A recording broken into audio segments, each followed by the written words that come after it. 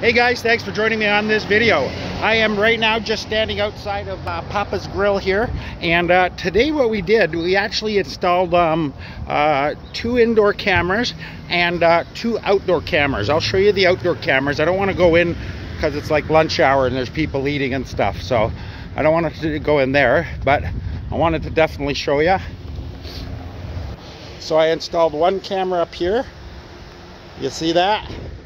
And we got one camera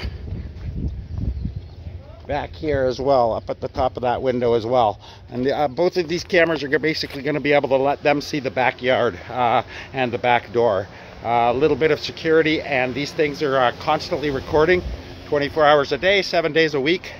Uh, and oh they're off-site uh, recording as well meaning um, even if the people say somebody broke in, even if they grab the DVR, it's already hooked up to the internet and it's uh, also stored on cloud storage. So it wouldn't make much of a uh, difference uh, uh in that manner. All right, I'm gonna let you guys go. Thanks for watching. I uh, really appreciate it. Come down, check out Papa's Grill. They've got tons of amazing meals, um, both Western and Venezuelan come check them out. They're awesome food awesome meals and uh, really great prices. Super super affordable. Thanks for watching